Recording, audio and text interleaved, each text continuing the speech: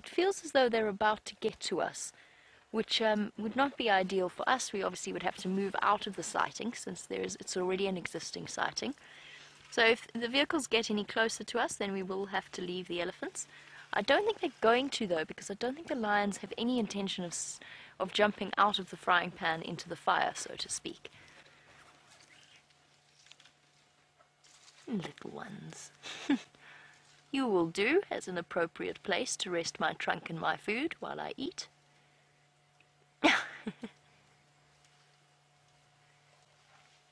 I want this. I'm bigger, and I say I want this.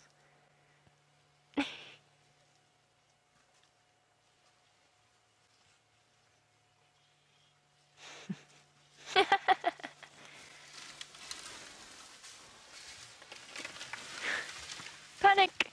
Oh no! Panic! It was an impala, you silly elephant! It was an impala! Bye, everybody.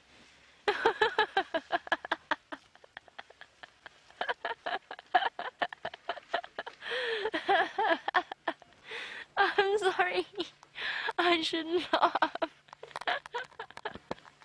but that was hilarious.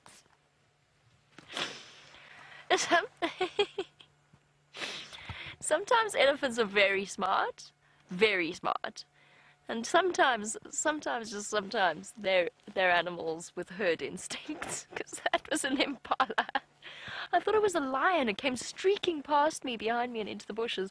One poor, terrified impala that obviously stumbled into the wrong neighborhood.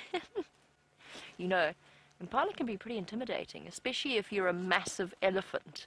Then they're really scary. All we needed to do was toss in a couple of Franklins there and we would have had a situation completely out of hand. well,